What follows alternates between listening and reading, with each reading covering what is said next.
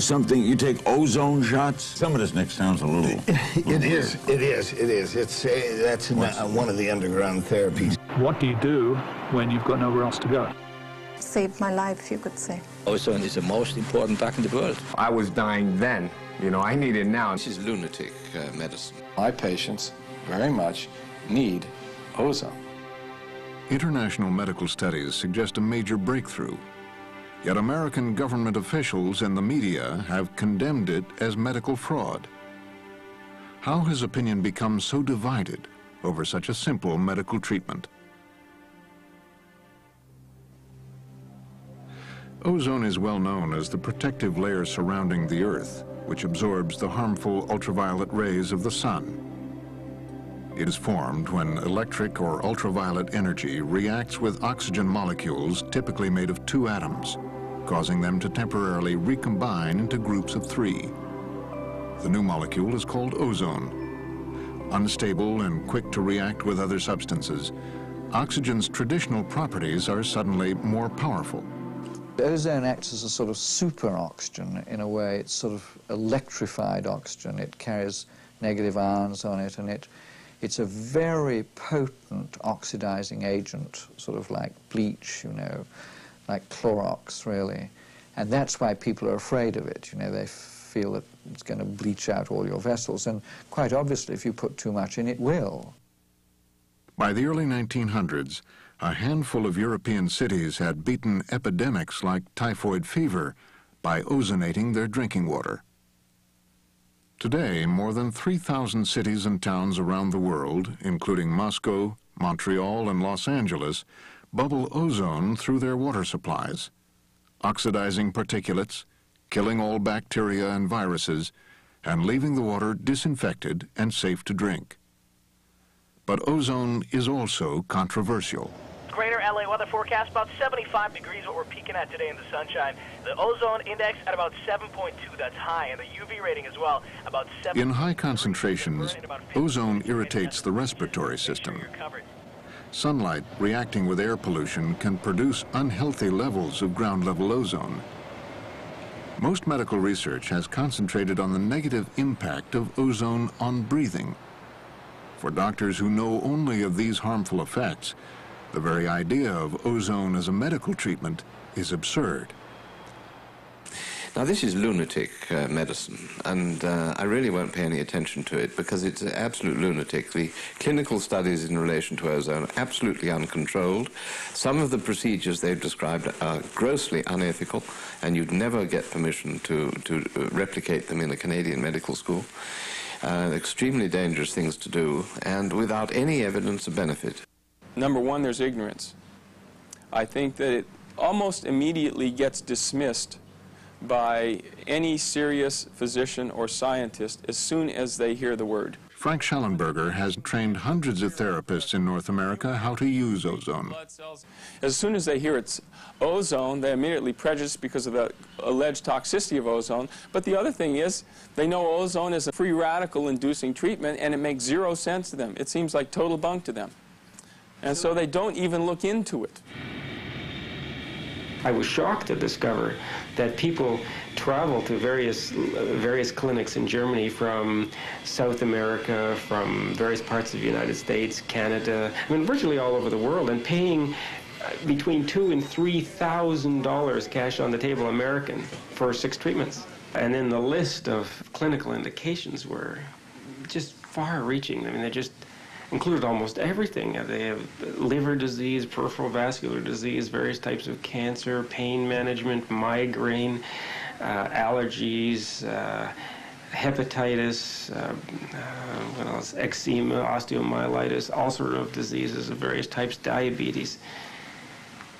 And that's immediately, uh, you know, when you see something like that, you immediately get scared off. It sounds begins to sound a bit like snake venom oil or something, you know, and, and uh, you start wondering again. But I, I thought, well, so here I'm faced with, with a range of potential clinical applications. A huge number of people are using it. A patient base that's worldwide paying big money for something got to be something in this. I paid my own way just to go to Germany because I couldn't believe that these things could really be true, you know. Even though I'd been reading all this literature and stuff, I couldn't believe it. But once you go there and you see in his clinic and you see all these patients who've been coming for five years or 10 years or 20 years and told that they were going to have their leg amputated, you know, 10 years ago, and here they are perfectly hale and hearty, or people who've had herpes um, zoster or um, uh, hepatitis or something and been treated and said that, you know, they'd had this disease for years and now that they're so much better. Whenever you have a disease, ischemic uh, areas, for instance, in your brain, there's a lack of oxygen.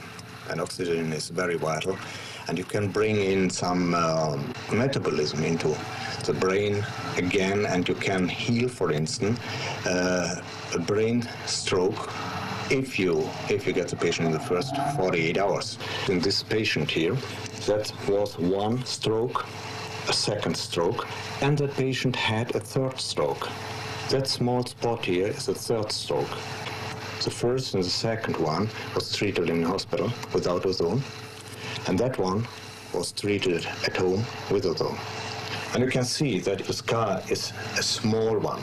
And since the scars are that small, after brain stroke, the patients are not paralyzed. I can give you uh, the table of, of uh, brain strokes in the United States from 71 and from, from 90. There were in 90, 750,000 brain strokes. 250,000 persons died, and 16% are so disabled that they need total care around the clock. And, and ozone will help them? I, I can count it up from 40 patients, but in 40 patients, nobody was dying, nobody is disabled, and only two are so disabled that they have basic movement only. This 1997 study shows that the effects of some drugs are made more effective when combined with ozone. We can um, take 50% of the amount of uh, drugs we normally use, plus ozone, and then it works in the same way, but we don't have the side effects of drugs. For instance, loss of hair, vomiting, dizziness, and so on. German doctors were the first to use ozone medically during World War I to sterilize battle wounds. But it wasn't until 1959 that Dr. Joachim Hansler developed the first popular ozone machine for medicine. Today, his daughter, Renata Viebahn, a PhD biochemist, carries on his legacy. We are the first company in the medical ozone field. We have about 10,000 medical doctors around Germany, and about 70% are working with our equipment. It's not a treatment for patients at, the, at their home. The therapy to give the right concentration, to give, to administer it in the correct form is not so easy. Dr. Viebahn has also written the definitive clinical reference book on the subject, addressing the science behind the treatment and listing specific dosages for more than 22 areas of medicine. Ozone is applied in various ways. The main method is known as autohemotherapy, where small amounts of blood are exposed to ozone oxygen and then re-injected into the body. Other methods include rectal and vaginal insufflation, external bagging for burns, wounds, and ulcers, and more recently, the use of an ozone sauna. A growing number of dentists now use ozone to treat cavities and to flush the mouth with ozonated water during surgery, lowering the risk of infection. The most controversial method has been direct intravenous injection, but accidents by untrained therapists have led to several fatalities, and conservative ozone doctors now prohibit the method. The cutting edge is found in only a handful of clinics. This one is in southern India. A dialysis-type method allows continuous treatment of the blood through a canister of hollow fibers, which allows maximum surface contact with the ozone oxygen. This method, more than any other, shows the dramatic change in blood color from dark to bright red. I think I was in the world the first physician who treated uh, AIDS patients with ozone. You cannot kill the virus, but you can help the patients. You know? And my first patient, they are living in a good situation. They are doing very, very well. They are working. The best success we have on eczema patients, then asthma, polyarthritis, and on special cases of cancer, lymph cancer, non-Hodgkin, Hodgkin, we are successful too. The relationship between oxygen and cancer cells was defined by two-time Nobel Prize winner Dr. Otto Warburg, who confirmed that the key precondition for the development of cancer cells is a lack of oxygen at the cellular level. In 1980, the peer-reviewed journal Science reported that ozone inhibits the growth of human cancer cells without damage to healthy cells. How is it possible that one medical therapy could have reported benefits in so many areas of medicine? Along with hydrogen peroxide, hyperbaric oxygen, and mineral oxide supplements, ozone belongs in a family called the oxygen therapies. The implications for these therapies are based on the relationship of oxygen to human health fundamental for the transformation of energy that makes human life possible.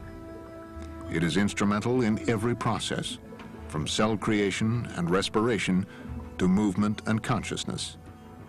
Sufficient amounts provide energy for physical activity, stimulating growth and a healthy immune system. If this swimmer does not surface, within minutes he will die. Oxygen is essential for life and ozone is energized oxygen. Red blood cells carry oxygen from the lungs to the rest of the body. Ozone, applied in small, precise amounts, increases oxygen uptake and stimulates the release of oxygen throughout the body. Another thing are burns. It's a very important treatment because in case of a burn, you know it, it's very painful. After 10 minutes, no pains. You don't get any infection. And after three weeks of treatment with that terrible burn, you have an effect in this way. And after half a year, you can't even see that there is a scar or that there are any alteration of tissue. And the healing time, one third of the normal time without ozone therapy. And that's the reason why I'm using it in France. If ozone is so popular in Europe, why is it not common in North America? The Canadian Department of Health and the U.S. Food and Drug Administration require expensive tests proving safety and effectiveness before a drug or medical device can be used, and these tests have not been done. Even in Germany, ozone has yet to receive approval, partly because doctors haven't needed approval to use it. We have made it very clear legally that the medical doctors are allowed or have the freedom of therapy, what we call it, to treat their patients in whatever way they feel. It must be responsible. Otherwise, the patients may intend to sue him, I mean. How dangerous is ozone therapy? In 1980, this published study from a German university surveyed more than 1,000 therapists who had given more than 5 million ozone treatments. 90% of the therapists reported the treatment effective, with only one finding it unhelpful. This study also reported that ozone therapy had one of the lowest levels of side effects of any medical treatment. The results were reviewed and endorsed by the German Society of Pathologists. Sometimes you have uh, a kind of allergic reaction on ozone. Yeah. But I have seen this only three times. Mm-hmm. Under 10,000 cases. The gold standard in medical research is called the double-blind study. To avoid potential bias, neither patient nor doctor knows whether the patient gets a placebo or the real thing. But in Germany, what doctor wants to give a placebo to seriously ill patients? In Germany, we have treated, I think, no less in the last 40 years, no less than 10 million people. I think more. Now you have the biggest test with 10 million people. No, what do you want more? It's not double-blinded. Not double-blinded, sure. Yeah, not double-blinded. Ozone's early development was based on the empirical findings of doctors in day-to-day experiences with patients. But the historic lack of controlled studies has caused critics to dismiss early reports as anecdotal and lacking scientific merit. Unfortunately, you see, it has been always in the hands of private uh, physicians, and they didn't care about what uh, statistics or about a proper clinical study. They just carry on. If you report your data, your, uh, uh, with your subjective uh, impression and feeling in, a, in an abstract form, really, that, that's it's, it's irrelevant because it's not really no, no, no data at all. No, the scientific community will never accept this sort of uh, communication. And so Dr. Bocci and others investigated the scientific validity of ozone. We started to study the uh, effect of ozone on white cells. And we found that ozone can uh, stimulate uh, cytokine production, that is production of, uh, for instance, interferon, uh, tumor necrosis factor alpha. These agents directly attack the causes of disease, such as bacteria, viruses, and carcinogens. Uh, the fact that uh, ozone therapy could be useful in different diseases has a rational basis because you see, you treat blood. Blood is made of several entities, of several cells with different functions. And therefore, by activating different cells, you can treat different uh, pathologies. That's quite, it's quite reasonable. Ozone use has spread from Germany throughout Europe and beyond. But in Russia, a state-run healthcare system has propelled ozone to the front ranks. Major animal and human studies conducted at government hospitals led to approval by the Ministry of Health many years ago. Ozone has been practiced in Russia for more than 40 years already the most important event nowadays is the establishment of All Russia Association of Ozone Therapy. In very many parts of Russia and what we now call the Commonwealth of Independent States or the form of the Soviet Union, who bring medical ozone into their clinical practice. Озонотерапией мы начали заниматься более 20 лет назад, и в настоящее время нами организована Э, система обучения, подготовки врачей-специалистов озонотерапевтов. Э, после дипломного образования, образования в, в, в России э, включает в себя преподавание озонотерапии. I'm using ozone therapy from 1992. My special interest is pelvic inflammatory diseases.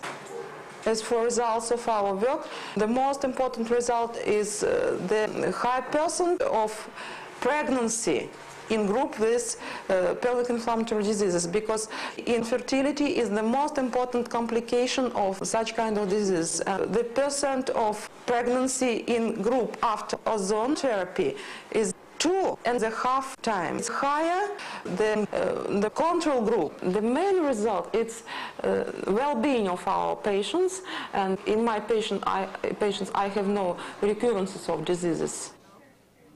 Other research shows benefits with ear infections, shown here, better results with breast cancer compared to chemotherapy, and reduced nerve damage in burn victims. In this major study of 500 patients with a variety of internal disorders, ozone resulted in improvements for 90% of them. It is now even used experimentally during open heart surgery to reduce the risks of transfusion. Nowadays, when all the drugs we buy have become so expensive, ozone is a very good remedy. And it's less time consuming for the doctors, for the nurses to use it, and it is cheap for the patients. Russian doctors are also members of the International Ozone Association, which holds world congresses every two years, where the cutting edge of ozone research is presented.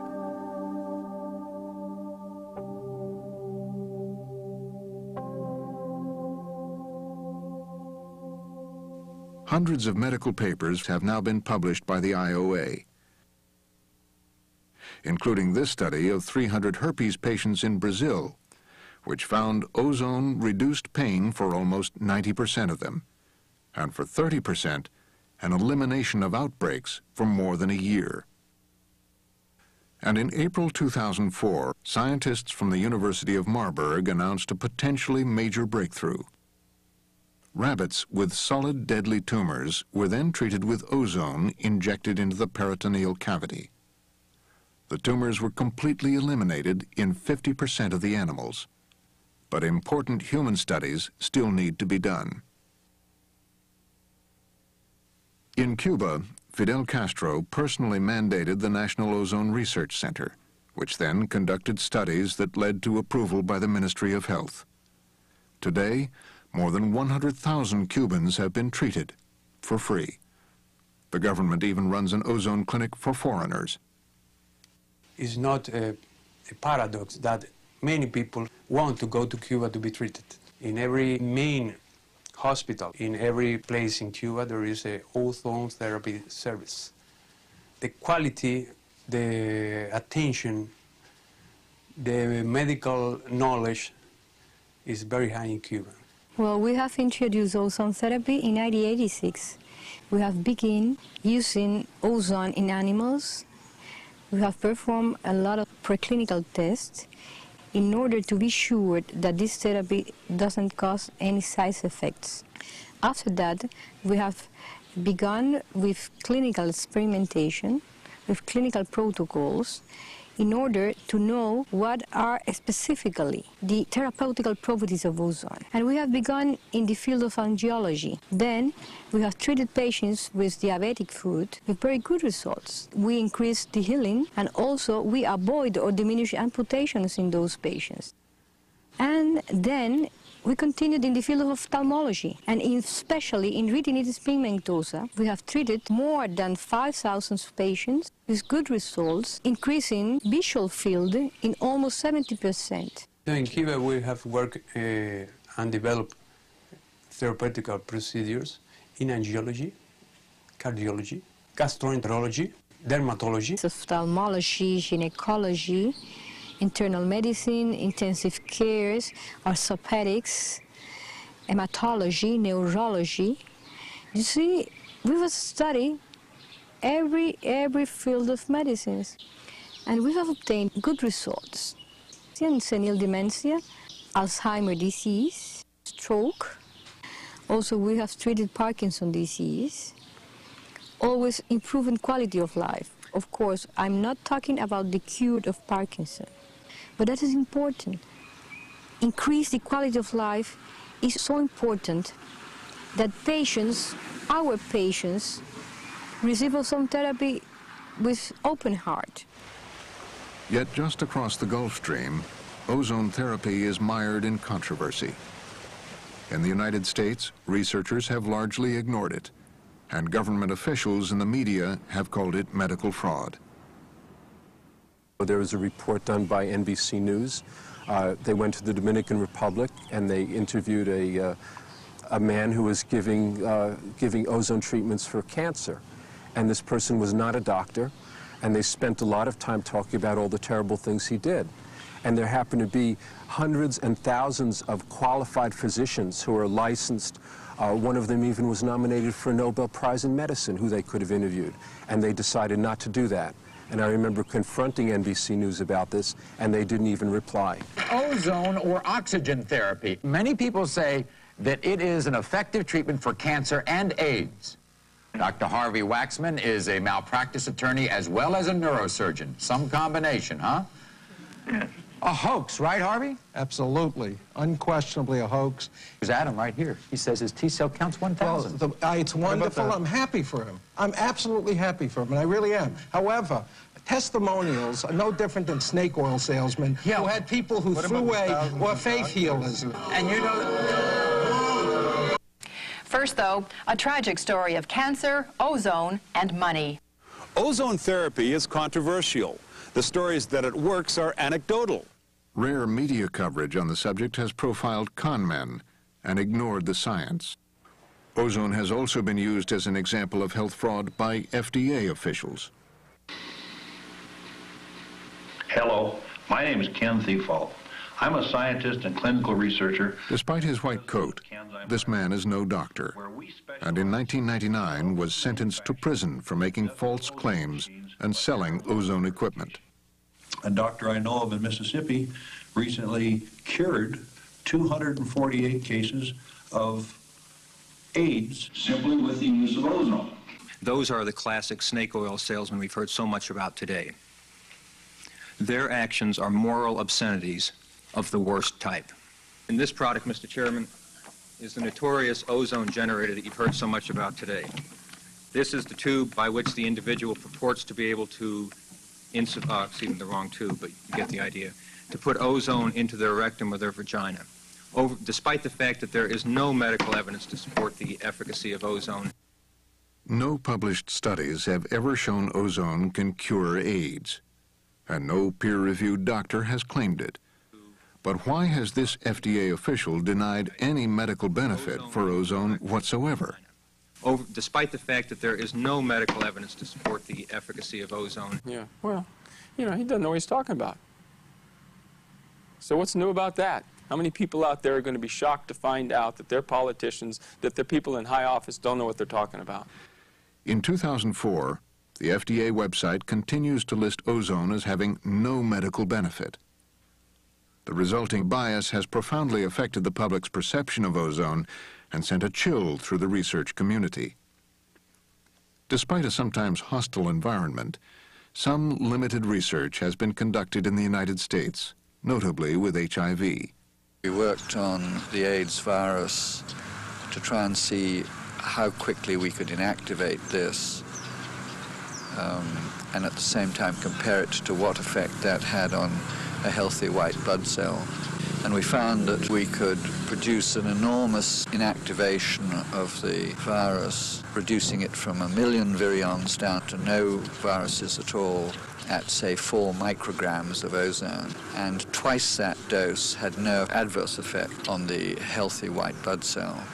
During that time from naught to eight micrograms, that was double the dose that was uh, adversely affecting the virus, you are actually stimulating the white blood cell to be more effective.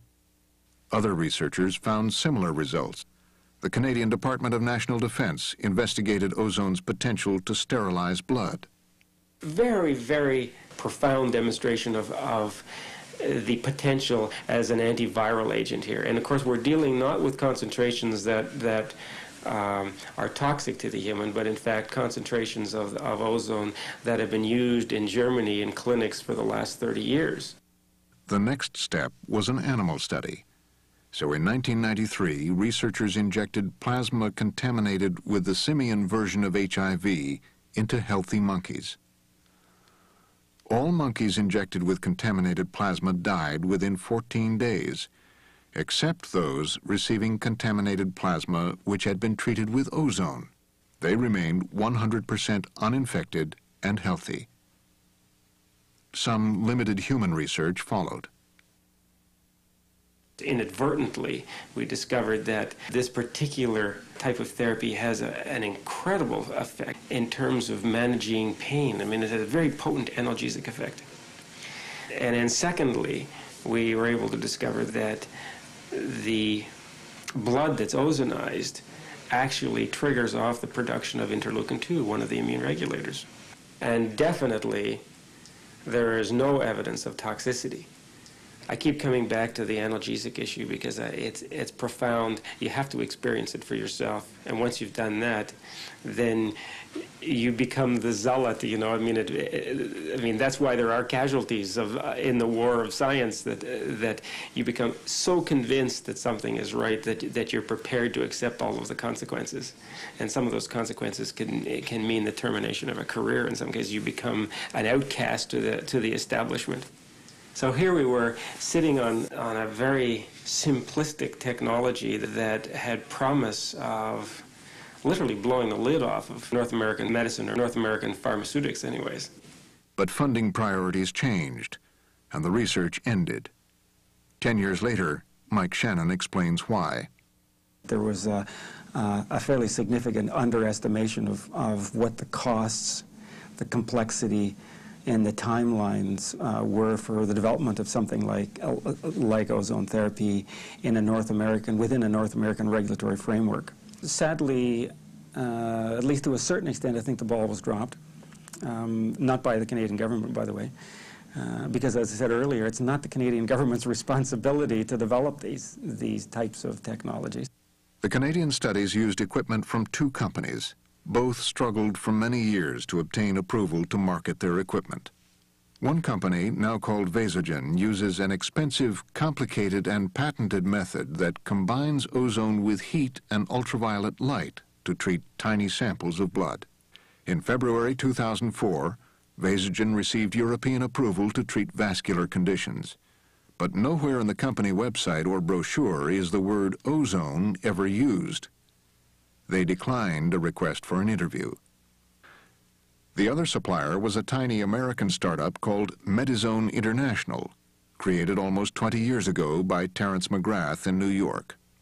We filed with the Food and Drug Administration for the uh, sale of the drug produced by the equipment uh, and its use in the treatment of AIDS.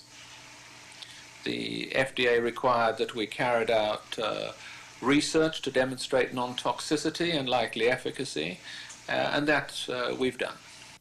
Medizone conducted lab and animal studies, and their application for human trials also referenced the millions of people treated in Europe, but that information was dismissed as anecdotal. The FDA wanted more animal studies, but by the early 1990s, Medizone had run out of money. Desperate for research dollars, Medizone then applied to the U.S. government's National Heart, Lung, and Blood Institute to test ozone's potential to sterilize blood. They presented the Canadian monkey study, as well as research conducted by a respected co-discoverer of the HIV virus. We were able to sterilize HIV and HTLV very effectively in an in vitro setting uh, in human plasma without destroying human factor VIII. Our hope was that we could then pursue this strategy and see could we use ozone as a way to make um, human plasma products safer. Um, would this be a strategy that we could exploit not just for HIV, for, but for any potential infectious agent, even those that we haven't discovered yet, and that the ozone might be a cost-effective, uh, thorough way of eliminating infectious agents from plasma products. Government reviewers could find no fault with Medizone's science but their application was still rejected for reasons other than scientific. Although not on the review committee, one NIH official did agree to comment. Ozone, I think, has, uh, has some potential toxicity to tissues. And of course, many things that kill viruses will also kill blood cells. So virtually all of it has a degree of subjectivity, although there are some uh, uh, pretty standard rules of research. It's flawed. It, people are flawed. But I don't know that there's a better way than the overall uh, uh, peer review, the way, way the NIH uh, has conducted it for years. Who is to prove this, this thing if it isn't the NIH? There's enough uh, material from Europe to at least consider the examination of it to go ahead and look at it. It's been around since the turn of the century. The U.S. National Institutes of Health is the largest medical research group in the world. Their 2004 budget is $27 billion, which supports research in more than 2,000 laboratories. The role of the NIH is to ask and answer and ameliorate the public health problems of a nation. Doctors and AIDS patients presented scientific and clinical evidence to Tony Fauci, Director of Viral Research at the NIH. There have been no data that indicate in an organized, reliable clinical trial that ozone has any positive effect. There are anecdotal reports of people say that I did ozone enemas or injected uh, ozone intravenously and my CD4 count bounced way up. But when you look at it in an organized way, you, you there doesn't seem to be any indication that's good. That doesn't mean that any given treatment might not have some potential benefit, but claims of efficacy are not backed up by solid scientific data. I understand until something is approved, it has to go through rigorous medical study. But they won't even look at this. Now, come on, there. I mean, this is ridiculous. This is absolutely ridiculous. And as people are dropping dead in the years to come of AIDS, eventually someone is going to say, well, hmm, how come these people like Mr. Stephen here, who are using the ozone, aren't getting sick and progressing? What benefit does ozone really offer for people with AIDS? More research is clearly needed. But without the support of a large drug company or the government, who will do the studies? Meanwhile, just down the road from the U.S. Congress at the National Library of Medicine, the database continues to grow. By 2004, PubMed contained 194 references to ozone therapy from major peer-reviewed medical journals around the world. More than 95% of them report improvements and benefits for AIDS, tuberculosis, hepatitis, reduction of infection and pain, and a reduction in mortality.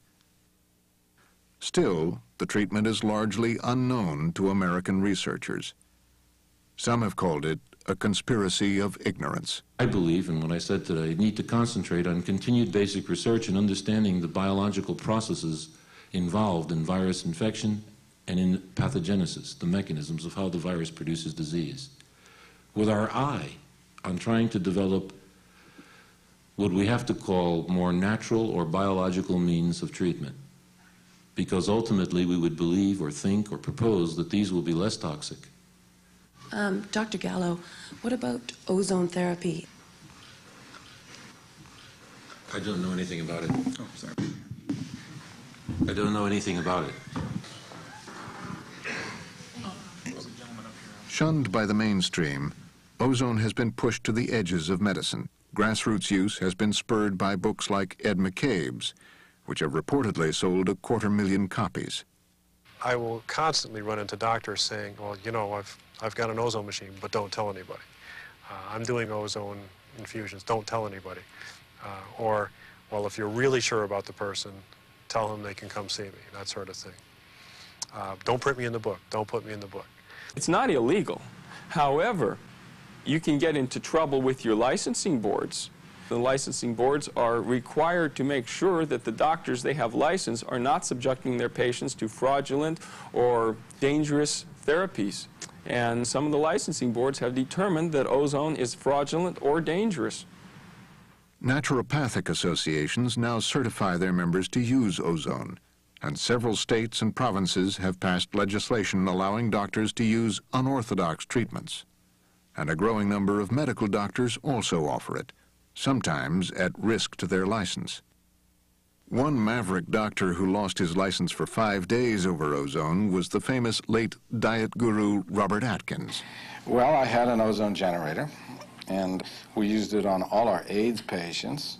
We used it on just about all our cancer patients, and we used it on the yeast patients, which really was the largest group. Uh, we found that our cancer protocol, which included ozone, was effective and was keeping people with so-called terminal cancer alive and without ever having to require pain medicine, uh, without losing weight, without any sign of deterioration, because it has been very useful, extremely safe, a wide spectrum of activity, can destroy tumor, can actually allow for shrinkage of tumor without destroying the immune system, sort of enhances the immune system while it's doing its benefit against the tumor. Uh, this is true in AIDS. The FDA saw to it that our manufacturer had to take away the business end of the machine. And then when we lost our ozone machine, the patients began to uh, go downhill.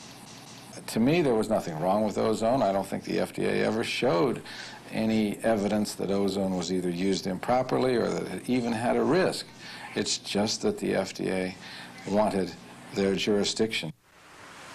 What do you do when you've got nowhere else to go? Uh, you're going to try and find out if there are regulations to restrict you? I think not. You're looking for, a, uh, it's not as if we're out breaking the criminal law. Um, we're looking for a way to get our health back, and I don't think anyone can condemn that. So for me, it was a very important um, decision to get an ozone machine, and uh, I became involved in a car chase uh, where the bad guy tried to avoid police and crashed his vehicle into a body of water. As a result of that, um, I entered into the body of water to try and uh, extricate the driver from his vehicle and during the course of that time became exposed to a substance uh, that's believed to be either chemical or viral, bacterial. I became very sick. I was off work for three years. One of the doctor's reports that stated that everything that could have been done for me in the hospital system had been done, and that basically it was a case of going home, and if I got better, then that was a plus, and if I didn't get better, then, well, we've tried everything we can for you. Now, I'm a just a regular individual. I like to go to ball games, um, drink a beer. Uh, the whole illness process changed my life. And as a result, I had to start looking, uh, researching for myself uh, ways in which to get back to normal health. So I pursued, among other things, the, uh, the idea of the ozone treatments. And it wasn't something that you could get here in Canada. Within hours of having the first treatment, I started to feel a sense of wellness. And I started to feel my ill health turn around. It was a very slow, a very long, slow process. But the only intervening factor at the time of the change in my health was the ozone treatment. Treatments. I certainly, for one, am very, very grateful. It uh, brought my life back. Um, and for those people that think it's quackery or madcap medicine, um, or wait till you're sick and allopathic medicine, regular medicine has done everything it can for you and you've got nothing left, maybe then you know you might want to consider trying ozone. And about six years ago, I became severely ill. I had fever for a year and severe arthritis. And eventually I was told that um, the only treatment given would be steroids, and that also possibly may not help. So really it was oxygen ozone therapy that uh, saved my life, you could say. When I returned to England from Germany, I resolved to introduce this treatment in England. I've been using this now for five years. It's the main treatment in the center. I do four to 5,000 ozones every year. So it's my major work, really. And I see a variety of, um, or people with variety of illnesses, ranging from influenza to cancer and HIV. Despite a growing number of ozone therapists, desperate patients continue to seek treatment outside their own country. Sarah Butson has suffered from hepatitis C for 20 years. She chose a small clinic in Tijuana, Mexico for treatment. I have a background in biochemistry and genetics at a master's level. My initial pre-test or pre-treatment viral count was close to 2 million. At the end of treatment, after 30 days, my viral load had gone down to 12,000. I, I had never felt such health. I don't even know if I'd felt that healthy any time previously in my life either. So if you want to look at hepatitis, for example, I think there's a lot of reason to be optimistic. Optimistic with a disease that otherwise is still a challenge to modern medicine. And, and um, if you add to uh, the equation the fact that not only do we not, do we not have uh, treatments that are truly efficacious, but we don't have treatments that are affordable either. And we have increasing insights into a disease like that, that the mortality rate and the morbidity is, is enormous. That's, that's why I'm here, you know, is, is the fact that um, even if only 10% of what's being said out there is, is correct, that's enough for me. The healthcare system right now is in serious trouble. I think that a lot of people are dying needlessly because of government policies. And that's one reason why a lot of people are doing self-treatment. That's why they're going to, to, Germany and going to Cuba and going to Mexico because they can't get treatment for their diseases here in the United States. I think it's terrible. I think it's terrible. Why do American citizens have to resort to travel to Mexico, to Germany, to the Bahamas, and spend their life savings, their life savings, to try to get a treatment? My T cells were down to like 30. Um, I was having um, fatigue, loss of appetite, intermittent uh, fevers and night sweats, and um, I turned to conventional medicine. AZT, prophylactics for pneumocystis pneumonia, um, CMV. Um, I was prophylacting on about five medications, and I had a very, very quick deterioration. Um, and my body repelled them. I stopped. And since I have began the ozone therapy, I feel phenomenal. Um, I'm as strong as an ox. But what is my alternative? You know, AZT, DDI, DDC, nucleoside analogs that I have been on. and I wanted to jump out of a window. I had such severe headaches all the time, and I was emaciating because I couldn't eat. I would want to throw up by just, you know, just smelling food. Uh, and these were all caused by the medications which the conventional medical establishment is using to uh, supposedly combat this disease. I don't recommend that other people try and administer through themselves. I would, you know, um, emphatically recommend that you do this under the care of a physician, obviously. Um, this is not something that I enjoy doing. Um, I was felt I was near death, and this is something that I have resorted to to save my life. Um, I'm just uh, appalled that um, this treatment is unavailable to me.